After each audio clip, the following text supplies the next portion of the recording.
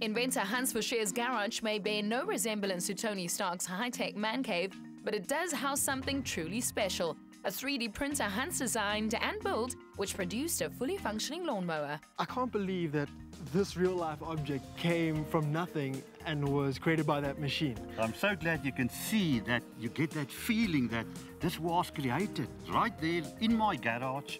It's only the motors that was used from an old lawnmower. But yeah, turn it over, turn it over. See, of course, the blade is from an old lawnmower.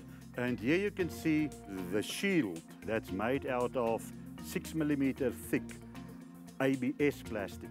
It's also important to point out that the blade wasn't 3D printed. The shafts were bought from the local hardware store as well as the electrical switch for the lawnmower. But together it forms a beautiful working useful tool. Hans decided to build his own 3D printer after he found desktop 3D printers to be too slow. His machine prints 12 times faster and uses plastic granules, which are 10 times cheaper. How did your interest for 3D printing come about, and what made you decide to create a 3D printer? Well, I was working for the racing car industry as an aerodynamicist, and I had to develop different nose sections for a racing car.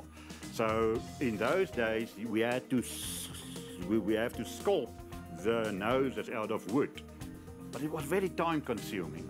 So one started to feel there's a need to take a machine and do that job for you. Hans sees the business opportunities that come with these 3D printed design and he hopes to start selling them in the near future. He also shared his lawnmower design online for other 3D printing enthusiasts. You just design your shape on the CAD system and then you put it into a slicing routine where it slices your model up in layers and it sends those layers, first the bottom layer out to the machine, then the second and so on. And then you can stand back and just look at your machine doing all the hard work for you. As 3D printers continue to develop, the possibilities are endless. Even Hans's Cheetah 3D printer was built with the help of another 3D printer. For now, though, a neat and tidy lawn is the greatest reward from this innovation. I can't believe that that 3D printer created this real, functioning lawnmower. My imagination runs wild to think of the possibilities that we're going to have in the near future.